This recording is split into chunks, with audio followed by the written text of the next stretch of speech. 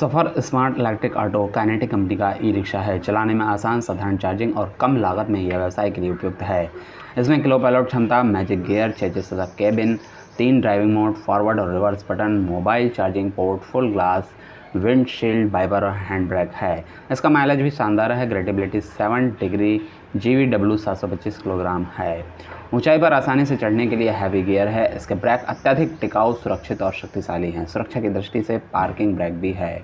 लाल, नीला, हरा और सफ़ेद रंग में उपलब्ध इस ई रिक्शा की टॉप स्पीड 25 किलोमीटर प्रति घंटा और रेंज 80 से 100 किलोमीटर है। 850 वाट की BLDC मोटर और 80 एम्पियर आवर की लिथियम आयन बैटरी इसमें उपस्थित है।